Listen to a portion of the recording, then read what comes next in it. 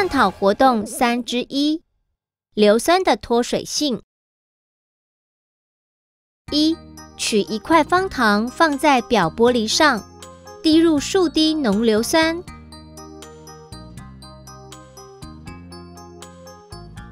静置一段时间，观察方糖的颜色变化。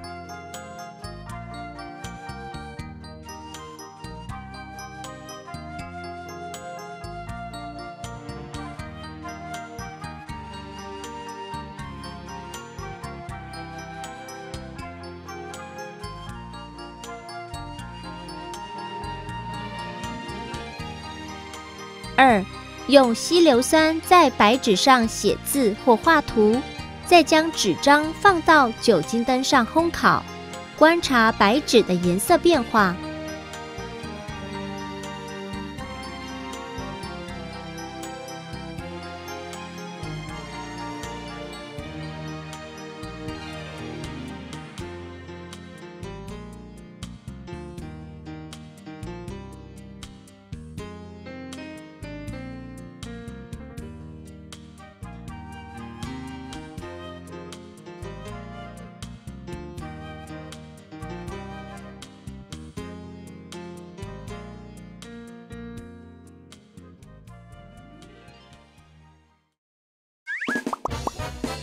想一想，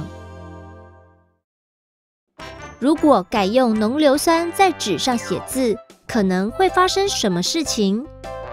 答：若使用浓硫酸书写，则不需经过烘烤，便能使纸张因脱水成黑色的碳，且会穿透纸张，